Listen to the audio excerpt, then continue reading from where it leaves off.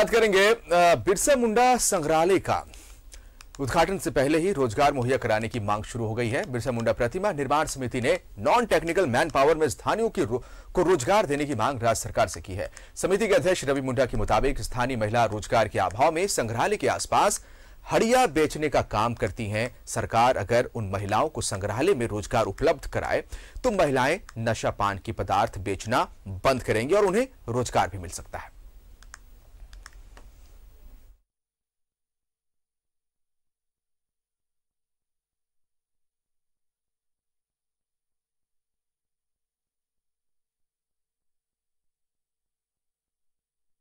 वहाँ पर जो प्रतिमा लगी हुई है, वो हमारे समिति के द्वारा ही लगाई गई थी। और उनके साथ साथ में जितने भी सांस्कृतिक कार्यक्रम होते हैं या जो भी है, हमारे समिति बढ़ चढ़ कर हिस्सा लेती है और इस कार्य जेल परिसर में भी एक शुरू से हम लोग यहाँ पर देख रेख करें।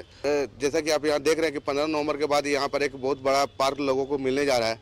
हम सरकार से मांग करते हैं, माननीय हेमंत सोरेन जी से, कि यहाँ पर जो भी टेक्निकल काम हो, वो तो अपने कंपनी जो भी करे, पर यहाँ पर जितने भी बाकी जो काम है, वो स्थानीय लोगों को ही दिया जाए। बिरसा मुंडा जी ने